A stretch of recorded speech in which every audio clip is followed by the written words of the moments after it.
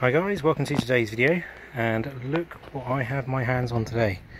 This is a first ride thoughts on this bike. I've just done my 10 mile quick loop home and I've got to this point on the ride which is uh, about half a mile from my house and my average is 18 mile an hour which usually be about 16 and a half if I'm on my own 18 if I'm with someone else but this is 18 on my own this bike is wow is, is one of any words to describe it. The stiffness in the bottom bracket.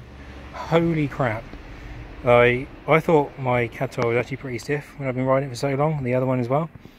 Going onto this bike holy crap. This is ridiculous. The stability is pretty good. It's a very windy night tonight. The crosswind's been crazy the whole way here. Obviously I've got the Knot 64s in. It's very unusual as most people have said in their reviews. Um, when you look down you can see the rim each side of the tyre because it's only a 23 mm tyre. Measures 26 though. The shifting on this Dura-Ace 9020, holy crap. This, the whole bike is just specced so well. It's um, not the lightest bike in the world, but you don't feel the weight just because of how stable this bike is as a bike. I, wow.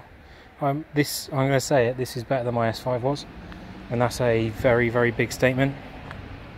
Um, let's run through though the spec. I think I have done a video on this bike, but let's quickly run through the spec while I'm here. So we have the Trimax Vision stem with a Metron aero bar, which you can put a clip-on bar onto here. As you notice, I haven't got a Garmin mount on here. It won't fit. So hopefully they'll revise that at some point and work out some way of having something mount off something. Um, this cap here comes off. saves you 3 watts or something stupid like that. Dura-Ace 99,120 on the levers and the brakes. Discs are Ultegra, Knot 64 wheels, front and rear. We have got the Cannondale SI chainset 5236 with a spider ring, my look Keo pedals, my old faithfuls. You got the 9100 front derailleur and rear derailleur. I'm running a 1130 I believe on the back of here, Ultegra. Knot 64 rear wheel, this is a knot seat post, which is obviously comes with the uh, frame itself, and a Prologo Dimension saddle, which is incredibly comfortable.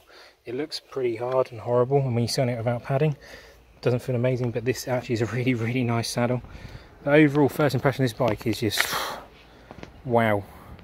I'll do a, a slightly more in-depth video if I can get a bit more riding on it, maybe a little bit tomorrow, maybe be able to bag it until Sunday morning possibly, but first thoughts on this, holy crap this is a quick bike.